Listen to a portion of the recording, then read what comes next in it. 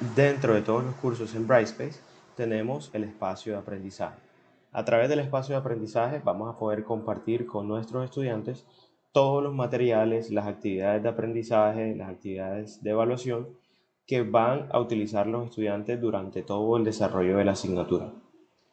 En el espacio de aprendizaje vamos a encontrar unos elementos principales, como son las unidades en el nivel superior de la jerarquía de la estructura eh, que nos propone la plataforma. Vamos a encontrar dentro de las unidades que podemos crear lecciones. Dentro de las lecciones podemos crear carpetas y dentro de cada uno de estos elementos, unidad, lección y carpeta, vamos a poder crear elementos, documentos HTML, enlaces eh, externos que puedan abrir en una nueva ventana del navegador o en una nueva página, pero también enlaces que estén incrustados dentro de la misma plataforma, como es el caso que les estoy mostrando. Por ejemplo, tenemos aquí el, el enlace de Sibila de la biblioteca de la universidad, en la cual yo puedo interactuar directamente dentro de mi curso sin necesidad de salir de él. De esta manera brindando una experiencia mucho más consistente a lo largo de toda la secuencia que he propuesto para que los estudiantes vayan visitando dentro de mi curso. También podemos colocar o publicar elementos como documentos PDF, archivos Excel, documentos en PowerPoint o distintos documentos que queramos también compartir con nuestros estudiantes.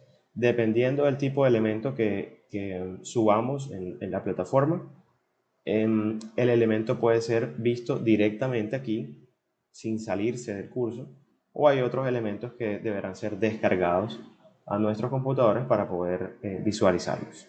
Dentro del espacio de aprendizaje, dentro de cada una de las unidades, yo puedo también mover los elementos dentro de cada unidad de aprendizaje. Yo puedo, por ejemplo, sacar aquí esta presentación y colocarla al nivel de la lección. O si lo quiero, también la puedo ubicar al nivel de la unidad. Todos estos movimientos o reorganizaciones las voy a, poder lograr colocándome sobre el elemento que quiero mover y haciéndole clic en los puntos que me aparecen del lado izquierdo.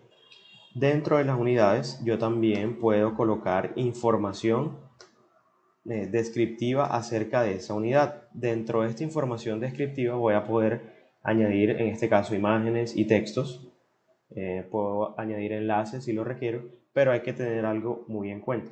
Y es que en la versión web, es decir, si yo accedo a Brightspace como estudiante a través de un navegador web, voy a poder observar las imágenes, voy a poder observar los enlaces que el profesor haya colocado en la descripción de la unidad, pero si accedo desde la aplicación móvil de Brightspace, no voy a poder ver los enlaces ni las imágenes, solamente veré el texto asociado a la descripción de esa unidad.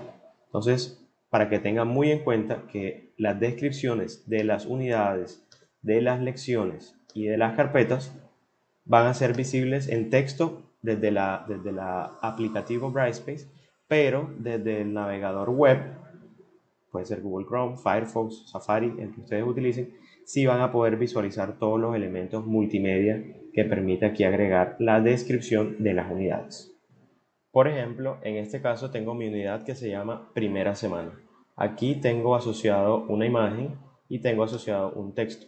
Si me voy a al aplicativo de Brightspace, el aplicativo de Brightspace que se llama Pulse, voy a abrirlo, me voy a dirigir al curso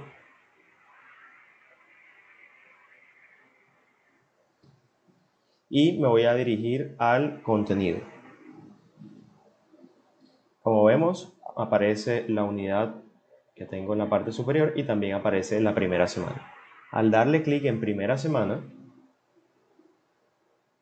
lo primero que me va a aparecer no es la descripción que yo he colocado en la unidad. Lo primero que me aparece son los elementos que están dentro de, de esa unidad. Por ejemplo, me aparece el programa del curso, me aparece el Simbalú, me aparecen otros elementos acá. Entonces, para yo poder visualizar este texto descriptivo que se encuentra en la descripción de, la, de esta unidad, primera semana, debo hacerle clic aquí donde dice más y como pueden observar aparece el texto que dice bienvenidos al curso Sandbox. Este es un espacio de pruebas de las funcionalidades de la plataforma Brightspace.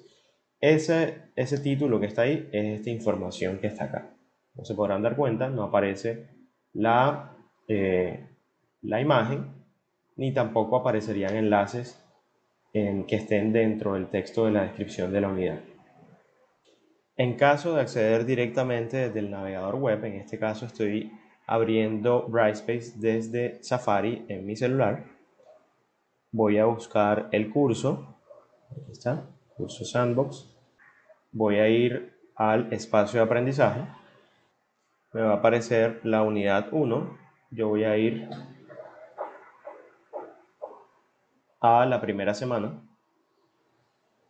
Y si se fijan en el navegador web de mi celular, sí aparece toda la información de imágenes, de enlaces y demás. En conclusión, si agregan descripciones dentro de las unidades, dentro de las lecciones o dentro de las carpetas, asegúrense de colocarle un texto descriptivo claro, corto también, y utilicen la menor cantidad de elementos multimedia posibles. ¿Por qué? Porque los estudiantes van a poder acceder a estos elementos multimedia como enlaces, documentos, etcétera, solamente desde las versiones web de Brightspace.